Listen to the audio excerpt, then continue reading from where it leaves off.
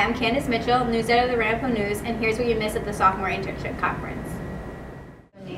Hi, I'm Megan Patel. I'm a first year senator in SGA. And right, right now I'm helping out with the sophomore internship conference here in Friends Hall. And I just want to tell everyone that I think the most important thing to take out of this conference was the fact that it's never too early to start networking and get your career rolling.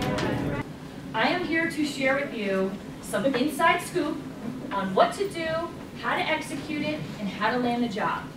I run, I've run several successful internship programs. I do a lot of interviewing for internships, and I do a lot of interviewing for our full-time program. So I'm going to give you the scoop today. The Cahill Center is also a fantastic resource that can give you a lot of commonly asked interview questions. They also provide opportunities to do mock interviewing. Prepare, get all the nerves and jitters out in front of your friend, in front of an advisor, in front of someone at the Cahill Center, in front of a professor. If you don't have someone you want to do it in front of, do it in front of a mirror. What I don't want to hear is, well, how I would motivate people is this way. No, that's a hypothetical answer. You're going to BS me. You're going to tell me what I want to hear. I want to know what you've done in the past. Well, back when I was a student at Ramapo College, I was the president of my sorority.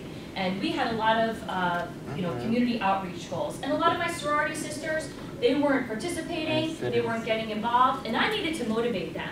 So I spoke with them, I called a meeting, um, I you know, related to them one-on-one, -on -one. I spoke about the importance of the events, I spoke about the results, the goals, and they were able to jump on board, okay? That's something I could visualize and picture with a lot of detail, okay? You're not gonna have a generic base email with an underscore, like a blank line for Dear So-and-so, thanks for interview interviewing me for this position, blah, blah, blah, blah, blah. It's not sincere. We see through that. Make it specific, make it personable, so give it some breathing room to make sure it's a good one. Uh, my name is James Ticchio. I'm a sophomore, a law and society major. I was really looking for a way to take the average college experience and take it to the next level, and really explore some new opportunities. And I would say don't be afraid to ask questions because it shows that you really are interested and you actually care about what you're doing. And it'll save you time in the long run because you won't do something and then it won't be what they want, so then you'll have to redo it. You'll just do it right the first time. And it just makes it seem like you're really interested and you care. I would say one, definitely don't be intimidated just if you hear school or whatever. My one of the bosses I work for right now, one of the financial advisors, is a Randall College graduate. Um, so that was like awesome for me, just such a confidence booster for me, you know, he's an alum. Um, definitely always ask questions. There's no such thing as a dumb question.